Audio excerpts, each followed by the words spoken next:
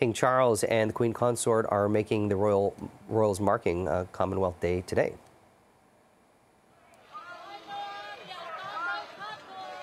Well, they attended a church service at Westminster Abbey. The late Queen Elizabeth signed the Commonwealth Charter on this day 10 years ago. It's a document that outlines the values and aspirations that unite Commonwealth countries. It calls on member states to commit to free and democratic societies and the promotion of peace and prosperity. King Charles III released a statement that reads in part, the Commonwealth has been a constant in my own life, and yet its diversity continues to amaze and inspire me. Its near boundless potential as a force for good in the world demands our highest ambition. Its sheer scale challenges us to unite and be bold. This week marks the 10th anniversary of the Charter of the Commonwealth, which gives expression to our defining values peace and justice, tolerance, respect, and solidarity, care for our environment, and for the most vulnerable among us.